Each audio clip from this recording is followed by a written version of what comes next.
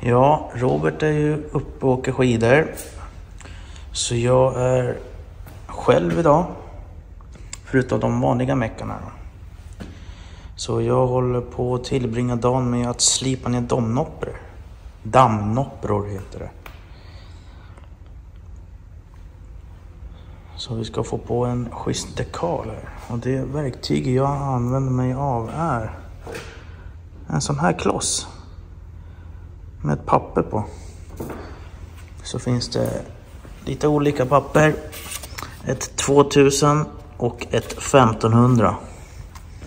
Så just nu kör jag 2000. Och när jag slipar ner alla dammnoppror så ska jag polera. Häng kvar så får ni se hur det blir efter då.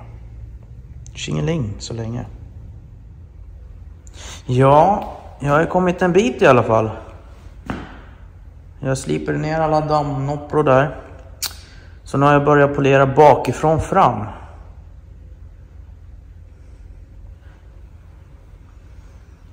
Det börjar ju likna något. Och där ser ni, där är det lite kvar att polera. Men det börjar, börjar likna något. Sådär då. Nu har jag kört hela förarsidan. Ser ganska bra ut. Får se sen hur det ser ut sen när dekoren hamnar på plats. Vi syns och hörs. Tjingeling. Här bakas det lite plast. Och här eh, låter han illa. Tjena kompis! Vad gör du för kul? Polera lite. Har bilen fått fläcktyfus tror jag? Ja, eller Skönt att det inte var några dammnoppor. vattkoppor. Jag kollar på andra sidan, det är inte en dammnoppa. Nej, Nej. Alltid något. Och vilken skillnad det blir. ja. Galet ju. Helt galet. Är det jobbigt? Ja, det är tidskrävande. Ja, det är det. Men jag var noga att fördela ut dammnopporna som kom lite symmetriskt i alla fall. Ja, Ja, det är svårt att klara sig utan damm, men det är skönt att det är en solid färg i det här läget. ja, faktiskt. Så du har en framskärm, då är det bara, bara säger fan. Men det är bak, eller bakdörr. Det är dörren och bakskärmen på passagerarsidan som är kvar. Ja. Sen är det väl bara sidan på skopet där, luftförhöjning, eller förhöjningen som ska få sig en liten tusch också. Precis. Men den är nog betydligt mindre än det här tror jag. Ja, det är det nog. Ja. Coolt! Jag ska lämna dig i fred så köttar vi på. Ja. Vet du vad? Dekalfirman skickar dekalerna idag. Fan främst. Så de kommer ja, om två dagar skulle jag tro. Grymt! Skitbra. Kör så ryker. Ja. Det där, det är Bo Solon design av Camaro Resurrection. Eller Resurrection Camaro, jag kommer aldrig ihåg vilken ordning det är. Och nu har vi fått dekaler. Som tyvärr ser ut att vara en liten fraktskada på. Vi får väl se om Ja. det är... Här har vi en liten skada. Som vi inte vet om det spelar någon roll. Men det här är ju storrackarns Ja. Oj, oj, oj. jättedekaler. Sportigt va? Var Vi riktigt ser sportigt. hur öppnar vi det här utan att ställa till det för oss. De drar ut änden på den Ja, också. där kan man, man kan det, så det är inte Ja, rätt. Ska vi lägga ut den här längs med då? För det kan ju hända att det blir rätt. Det är Jaha, den var inte så lång. Ja. Du håller i där så rullar jag ut. Vi kommer ju få blåsa av det här ändå. Vi måste ju titta på den. Men var var det skadan var då? Här uppe. Där uppe. Nej, där nere. Där var det. Här var den också Åh ihoptryckt. jösses vad den ser ut. Här Ja. ser den Vi får lite knögglig. Av tur så är det helt, har otur så är det trasigt. Ja. Men vänta, den där... nu var det svårt.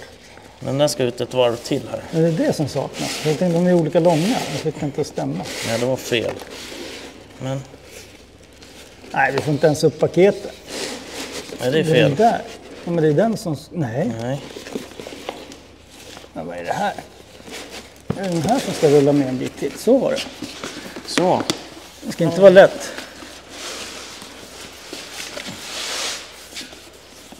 Här vi ju jättelångt klistermärke. Eh, ja, det kan man säga. Hur långt kan ett klistermärke vara? Det är längre än bilen. Hörru du, det där är framåt. Den Ja. här översta, det måste vara passagerarsidan. Ja. Det där är neråt framåt. Om vi rullar ihop den då. Varför måste man låta så här när man rullar något? Den är ju... Den var inte så lyckat packad. Eller? Nej, där var den inte. Jäklar vad knögglig han var. Ja, den är... Nu ska vi se. Nu vart det interference här igen. Den där ska dit. Och ställer upp den åt sidan då. Lägger den där. Här är ju också trasigt och skadat. Eh, ja. Ja, det är precis. Spännande. Då är det där framåt. Ja. Ska vi se vad som händer.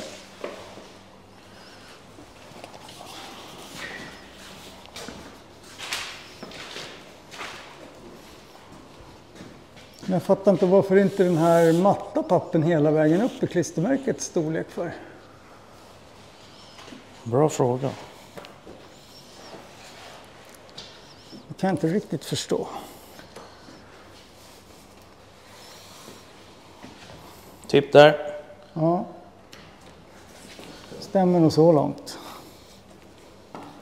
Men varför är inte den där lika stor? Fast den ska upp en liten bit till. Ja, jag bara orkar inte hålla upp den. Nej. Typ där. Fast där uppe, den ska ju mycket längre ner där. Ja. Mycket längre ner. Det ska ju vara, vad är det, bilden? Ge mig bilden där. Alltså. Det ska ju ner. Eh, typ underkant strålkastare ska den lodrät, eller vågräta linjen vara. Typ där då. Ja, och så ska jag upp här. Och sen här ska ju det orangea klippa hjulhuskanten som ska ligga där någonstans. Ja, men det kan nog stämma. Då är vi typ där. Det här är inte två minuters jobb att sätta den här. Mm, Nej. Jesus. Världens största klisterlapp. Jaha. Ja, men det är här i faggen den ska vara för då stämmer det med stötfångarlinje. Då är proportionerna rätt i alla fall. Ja. Jesus. Vi vet vad vi gör imorgon Johan. Japp. Men jag undrar varför de har gjort så här. Ja, den kanske inte räckte hela vägen då. Ja, men det, den skär de väl till. Ja, kanske. För det här yttre är det som håller dekalen när man sätter på den. Så här är ju dekalen lös. Och Där uppe, det svarta är slutet på dekalen, det vita är papp. Ja. Spännande. Hur ska vi rulla ihop den här då? Vi lägger den bara på taket tror jag. Det kan vi göra.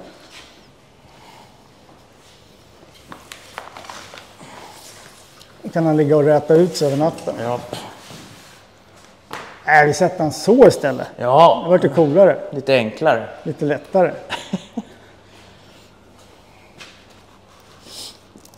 Dekalen är trasig där.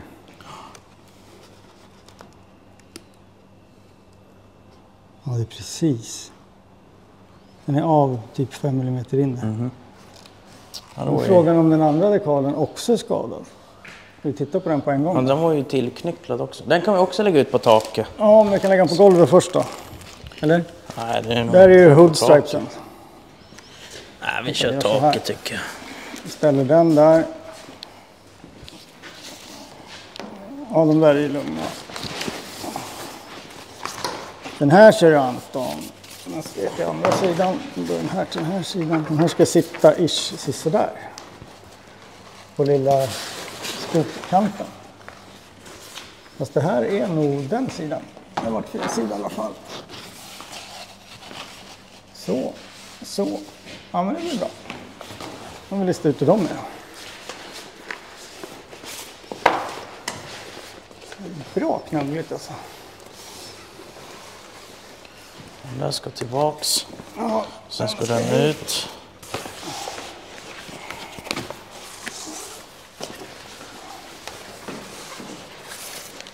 Oj, oj, oj.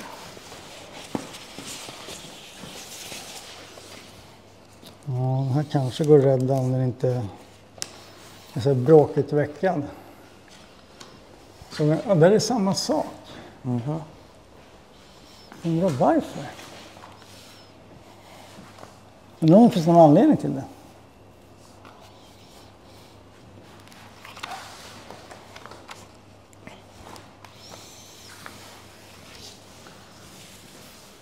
Ja, en bra fråga. Ja. Får ringa och prata med dem imorgon kanske.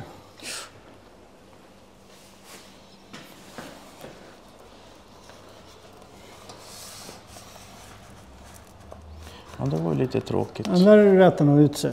Det tror jag. Med lite tur. Här är den ju hel. Mm.